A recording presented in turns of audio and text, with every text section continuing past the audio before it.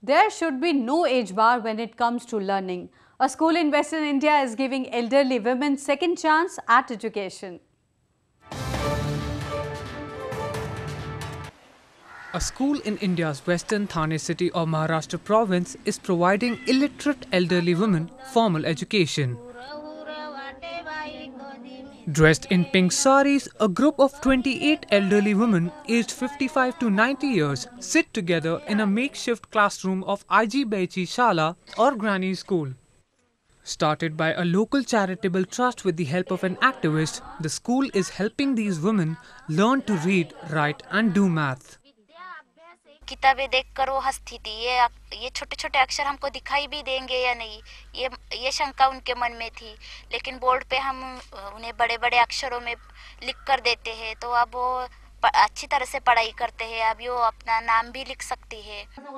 The school starts at 2 PM local time when the grandchildren of the elderly woman often show up to help their grannies practise reading and writing back home to the children help their grannies do their homework पहले अंगठो भी देते थे हाँ पेंटा पहले अंगठा लगाए आता आम्हाला अभी आप क्या करते हैं आता आता अभी सही करते हैं India has made great strides in education over the years.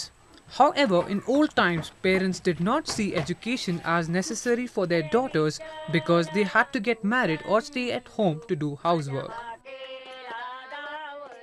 Such elderly schools are helping the grannies to make up for the lost time.